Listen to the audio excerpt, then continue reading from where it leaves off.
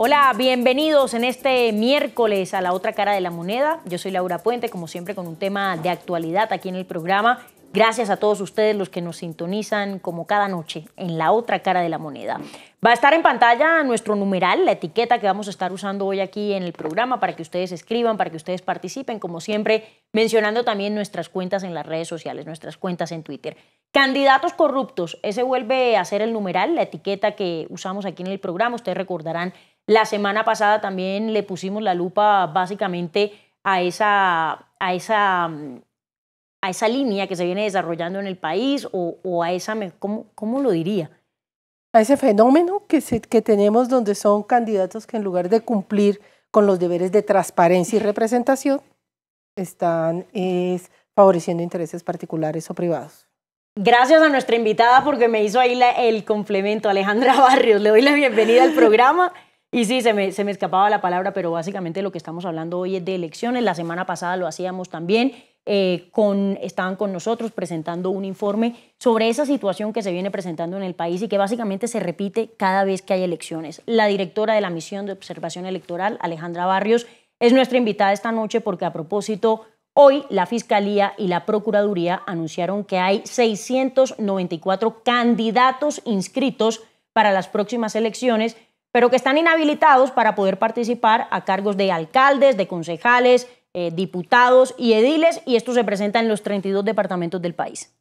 Sí, efectivamente, Laura, yo creo que se hizo un trabajo muy importante, es decir, apenas hasta el 27 de julio eh, se finalizaron la inscripción de las candidaturas, Procuraduría hizo un trabajo muy rápido, revisa además, el trabajo que hizo Procuraduría fue revisar los antecedentes de 117 mil candidatos que fueron los que se inscribieron y los que van a competir en este proceso electoral.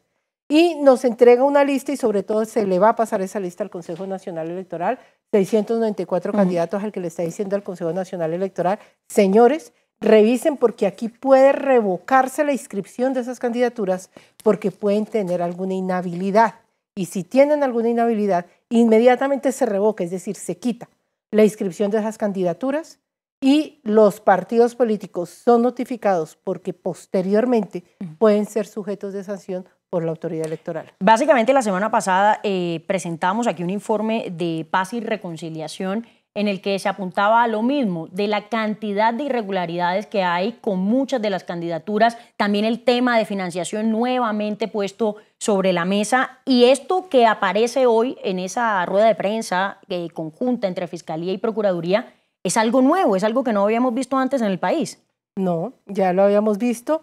Eh, ya se le había advertido a las organizaciones políticas hace precisamente cuatro años en el proceso electoral del 2015 la Procuraduría hizo exactamente el mismo ejercicio, le entregó una lista de más de 700 candidatos al Consejo Nacional Electoral, se terminaron revocando 1020 candidaturas a nivel nacional y le dijo al Consejo Nacional Electoral, una vez se revocaron, ojo, aquí tienen que venir sanciones para las organizaciones políticas.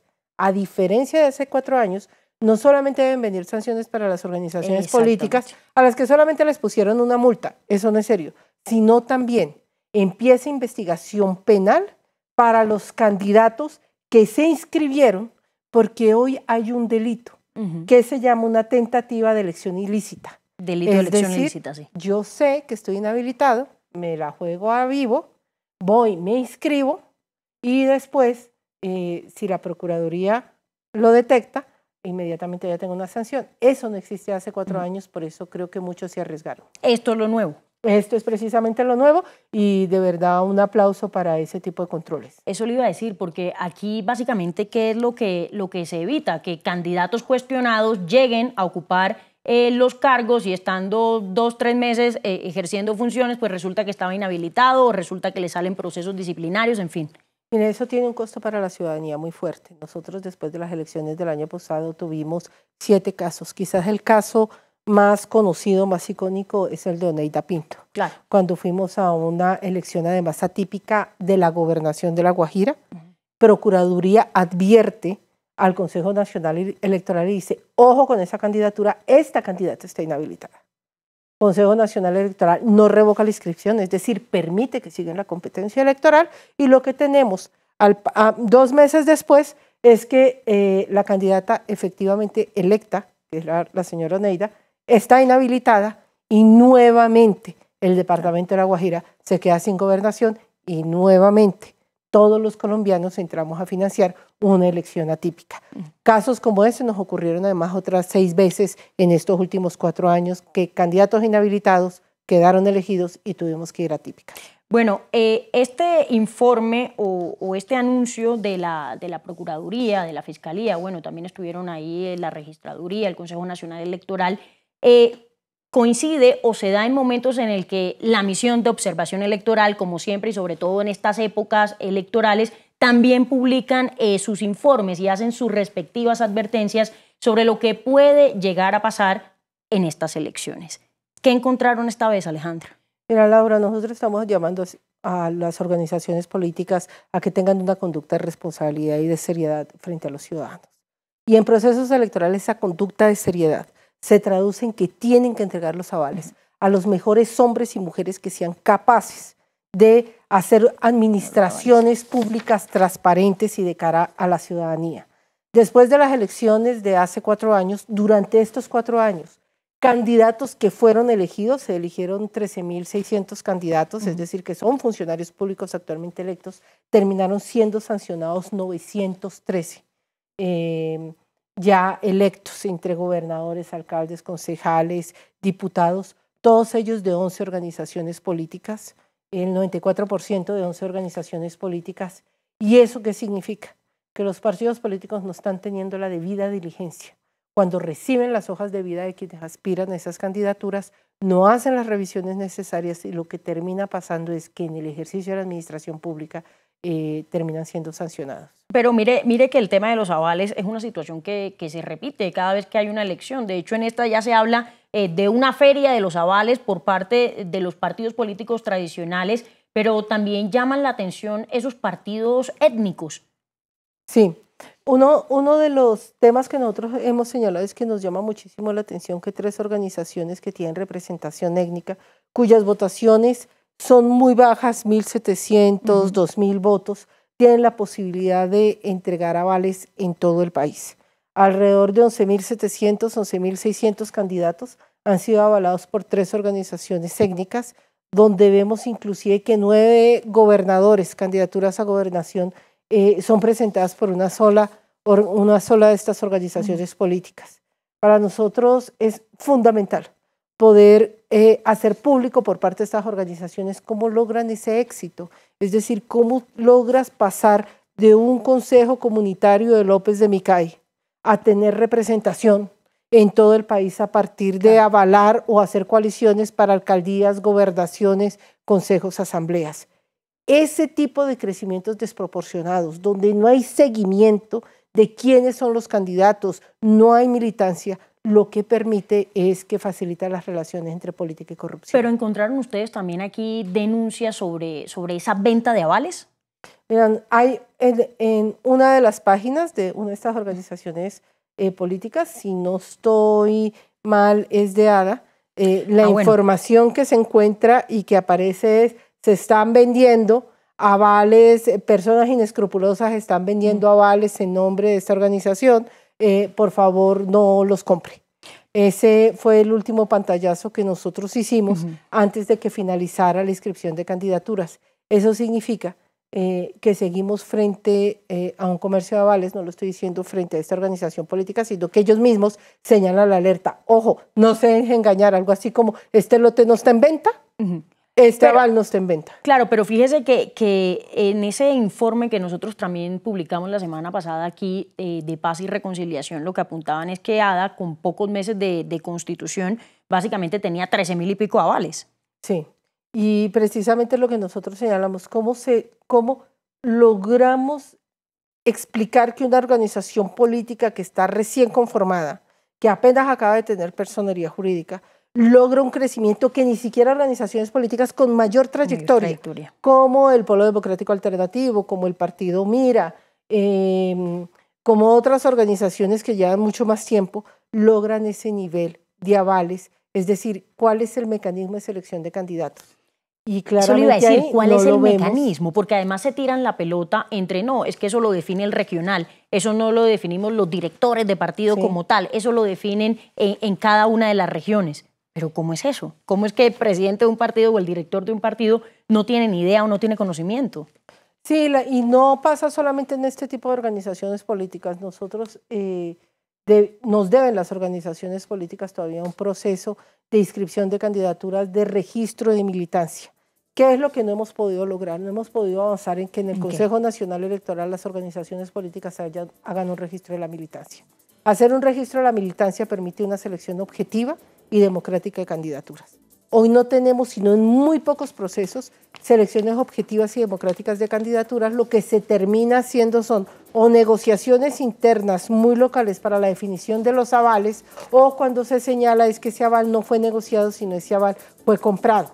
Y muchas veces no significa que se está pasando una plata directamente, sino que lo que logra demostrar el candidato es que tiene los recursos propios suficientes para poder pagar su propia campaña política y eso significa que el partido político no tiene que esforzarse, sino que ese candidato la paga, pero después, ¿qué es lo que pasa? Una vez entra al gobierno, pues ese candidato entra, que quedó electo, a recuperar los recursos que invirtió. Eso le iba a decir, porque él dice que él la paga, pero lo que, lo que nunca se sabe es de dónde provienen realmente los dineros. Mira lo que nosotros vimos en el estudio eh, que presentamos a las autoridades electorales frente a la financiación de las campañas, que es ahí donde está el centro del debate de corrupción, transparencia y administración pública.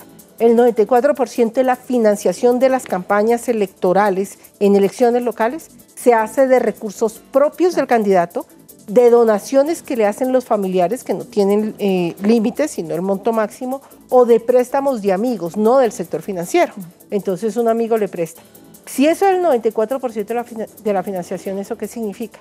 Que no importa si es avalado por un partido político, es su campaña, con su plata, a su medida, con sus reglas de juego. ¿A quién le tiene que rendir cuentas? Pues a su tía que le dio la plata, a su amigo que le financió la otra parte y al otro que le prestó parte de los recursos. Y esa es la forma de taparlo también. Pues, y esa no solo es la forma de taparlo, sino esa es la forma como empezamos a ver conflictos de intereses, falta de transparencia en la administración pública y donde el candidato coge y dice, yo por qué le tengo que rendir cuentas a usted si la financiación de esta campaña la hice yo con mi plata y ahora resulta que yo le tengo que explicar a usted qué es lo que estoy haciendo. Bueno, el hecho es que son 694 los candidatos de la cifra del que usted mencionaba, 117.822 eh, de los inscritos, los que se encuentran inhabilitados. Y el asunto está de la siguiente manera. El Partido Conservador lleva ahí eh, como el liderazgo, si lo decimos así, lleva la batuta con 113 aspirantes inhabilitados. El Partido Colombia Renaciente, y quiero que hablemos ahorita de Colombia Renaciente. en el 2015, 60, 60 candidatos del Partido Conservador habían estado inhabilitados, es decir, se superó. El, el, doble, claro. Y mire, fíjese, Colombia Renaciente 66, eh, Movimiento Autoridades Indígenas de Colombia, que es eh, AICO, y el partido de la U con 64 y Cambio Radical con 59. Esas son las cifras. Vamos a la pausa en la otra cara de la moneda, ya venimos.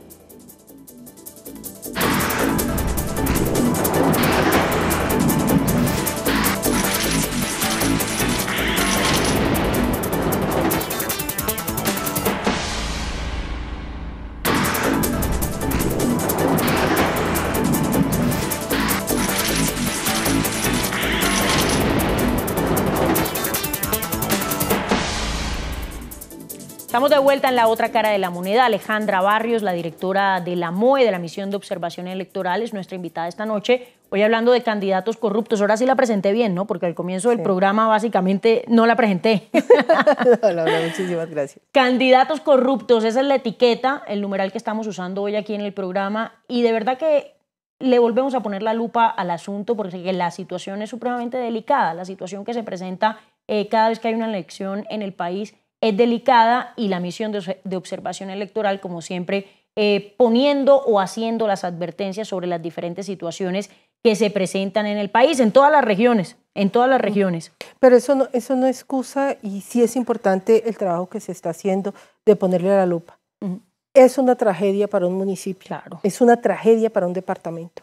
Cuando su alcalde, su, su gobernador, cuando los miembros de su consejo o de su asamblea terminan inhabilitados después de ser electos o terminan saliendo del cargo por algún tipo de sanción de carácter penal, de carácter administrativo. Y solamente basta mirar y voltear los ojos a Cartagena.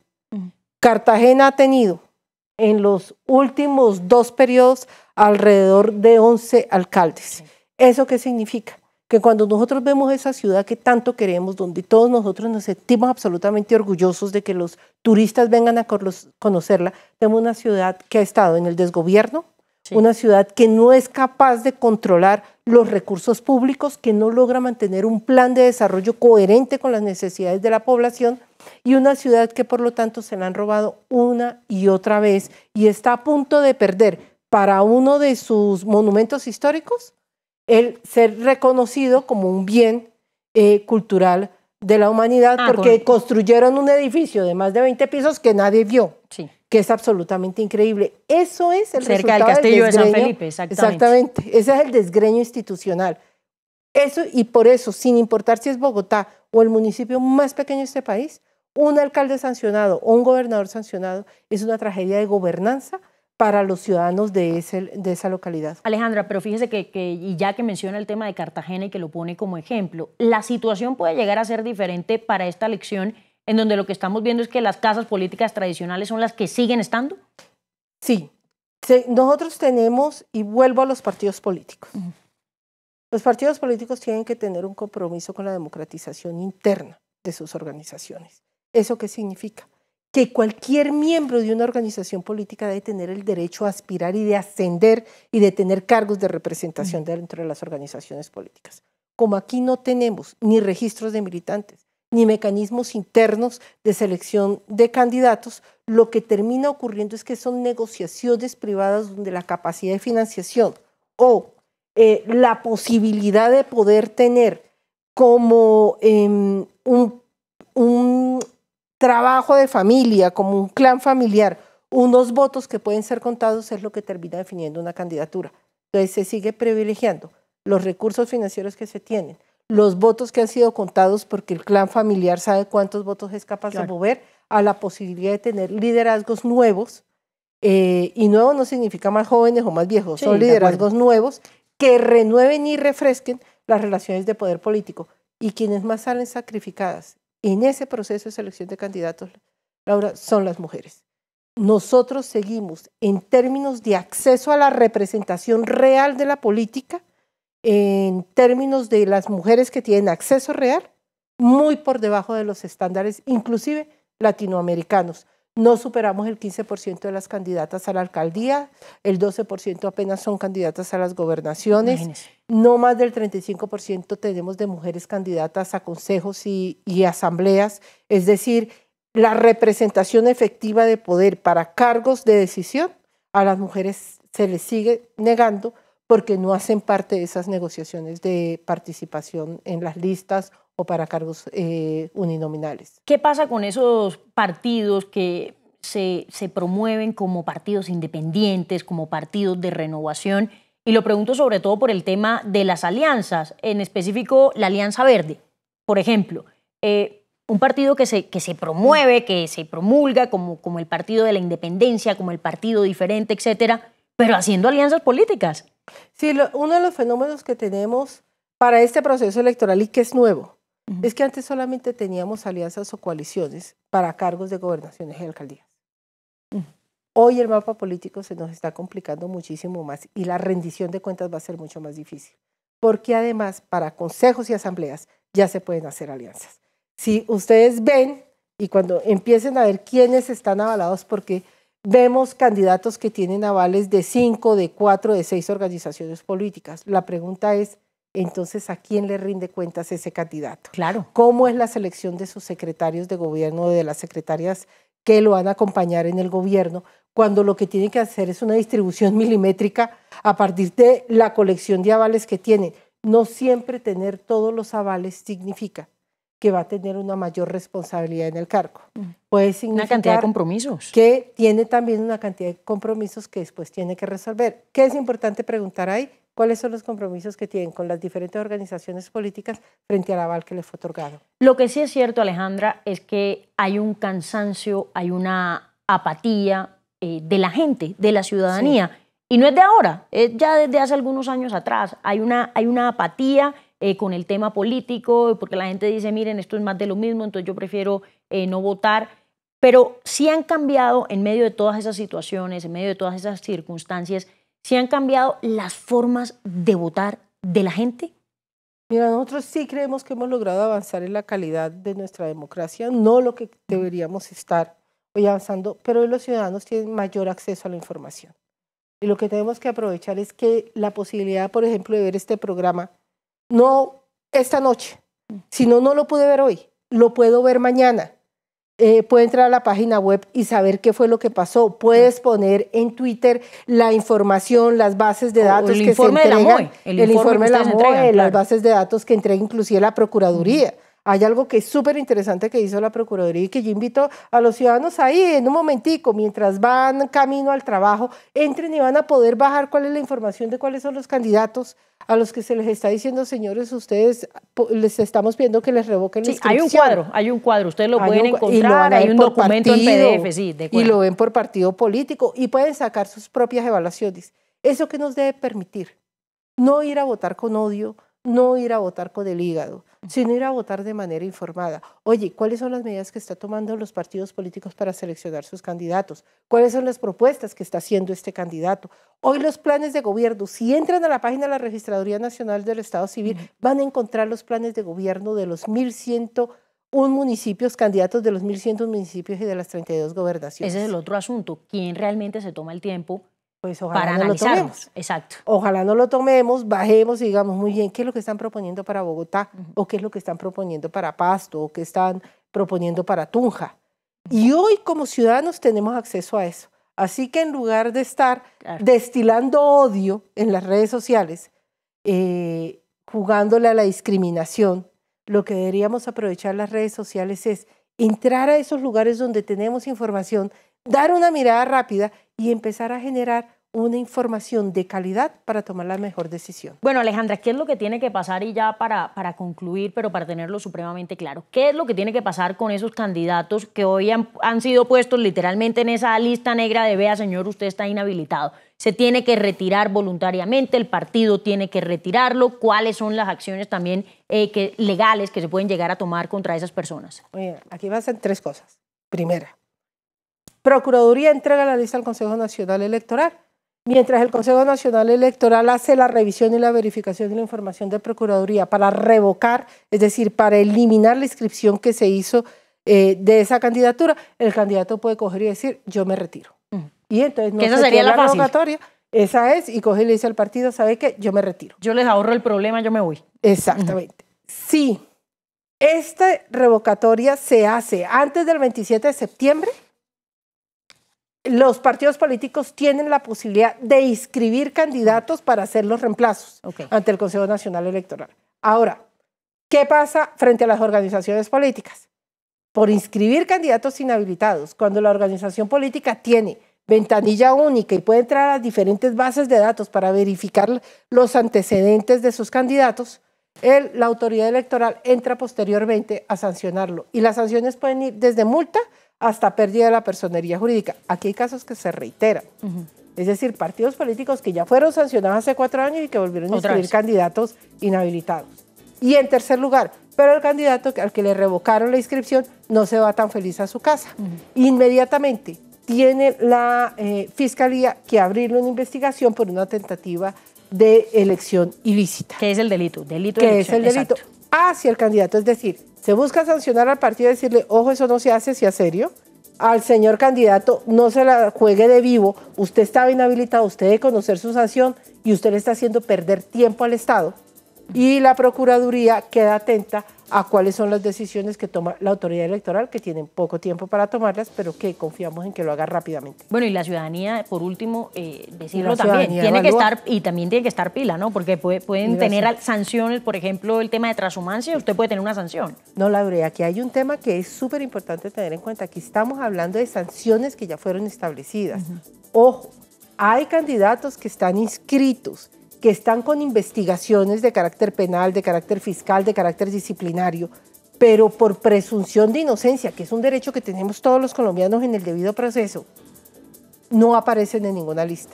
Así que como ciudadanos también tenemos el deber de tomar la decisión si nuestro candidato, nuestra preferencia, tiene una investigación, de tomar la decisión si votamos por ese candidato o no. Porque si ese candidato es condenado, pues nos vamos a ir a una elección. Y eso representa una platica también, como siempre, y para variar, del bolsillo de nosotros. Exactamente.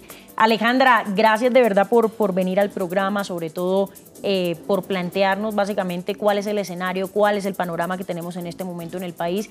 Siempre para nosotros muy pertinente, muy importante poder contar con su presencia en el programa. Muy amable. No, no, muchísimas gracias y pues agradezco muchísimo la invitación. Bueno, ya saben, ahí está también la etiqueta. Pueden seguir participando del programa, nos pueden escribir en Twitter, en las redes sociales. Mañana los espero, que estén bien.